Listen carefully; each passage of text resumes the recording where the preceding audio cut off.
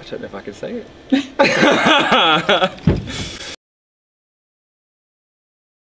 I personally love um, I love the nightlife because I get to wear this amazing costume and it's kind of the disco number of the show.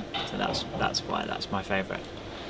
Um, my favourite part of the show is my scene with my son Benji, set in the bedroom on the bed, and it's because it plays very close to home because of my adopted daughter. We've worked it out. We think we're 17, 18, Yeah. yeah, 17 between us. Yeah, but Yeah, yeah, between the, us. the three principals have a lot, but, um, but the- us Yeah. two probably have the most out of the three of us. 18.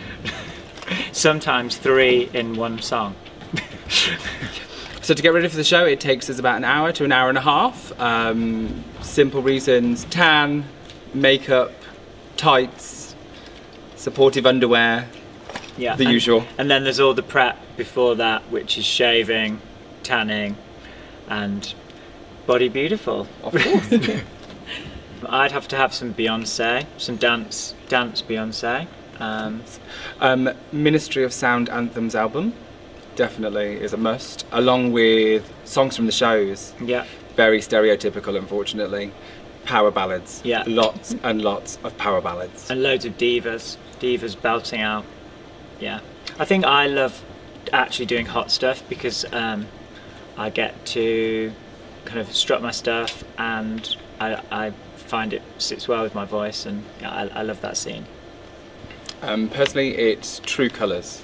Um, again, my daughter really loves it. So she's got a thing about trolls. So it's quite good that it's in this show and in the film Trolls. So we've managed to merge both. I don't know if I can say it.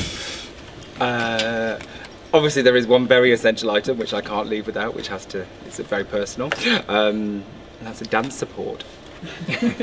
no, not really. Um, the main thing is my makeup box. Um, Yeah, we couldn't are the words, we couldn't do this show without no. a lot of makeup. and I've got to add, or I've got to add to it for this show. So it's always a bonus going out to spend more money on makeup. really weird thing for a man to say, I know, but hey.